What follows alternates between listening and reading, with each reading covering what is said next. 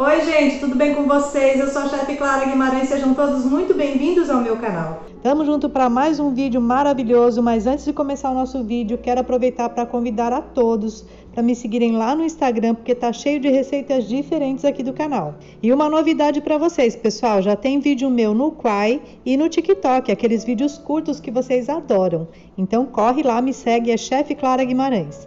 Agora bora lá pro nosso vídeo. Gente, a receita é extremamente simples e rápida, tá? Você vai preparar aqui em 5 minutos. Aqui eu tenho 150 gramas de cobertura fracionada derretida. Poderia ser sim um chocolate nobre, dá certo também, tá bom? Mas fica muito bom também com a cobertura fracionada, tá? Porque na realidade aqui o que vai predominar é o sabor do ninho. Aqui eu tenho 100 gramas de creme de leite, vou misturar.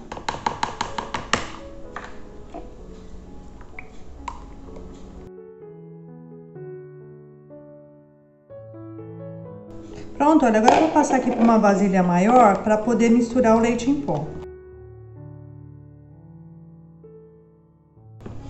E aqui tem 150 gramas de leite em pó integral instantâneo. Vou colocar de uma vez.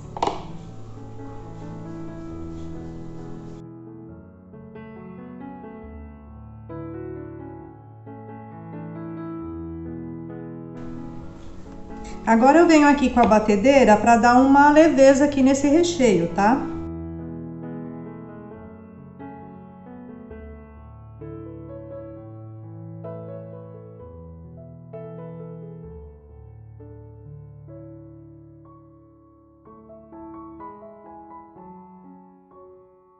Pronto, gente, olha, bati aqui por dois minutinhos, tá? Até ele ficar bem misturadinho, bem lisinho assim, tá vendo? Ó bem lisinho.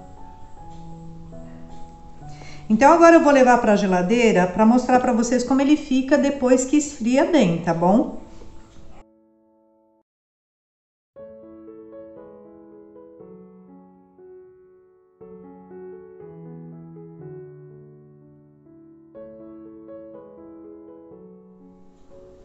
Bom, gente, aqui o recheio já esfriou, ele não tá geladão, tá? Ele só tá frio e já terminou de estabilizar.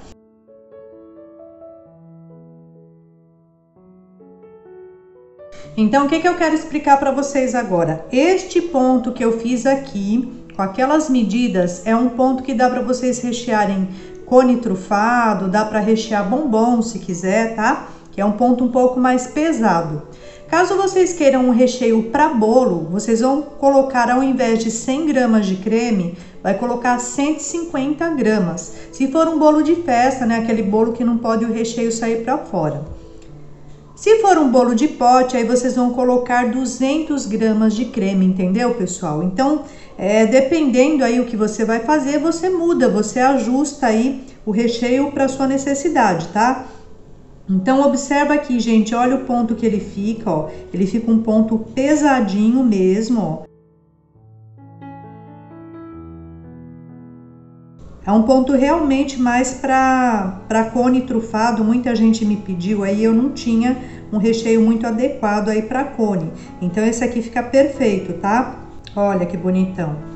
Gente, a validade desse recheio dentro do cone trufado é de 5 dias, tá? Não mais que isso, porque tem muito leite aqui. Quando tem muita proteína, a validade acaba sendo menor. Ah, mas eu garanto que um cone com recheio desse você faz e vende tudo no mesmo dia, viu? Gente, esse recheio é maravilhoso. Vocês não imaginam o sabor que é. Ele não fica muito doce, tá? Você pode aí fazer aquela mistura ninho com Nutella, ninho com morango, que fica perfeito, tranquilo.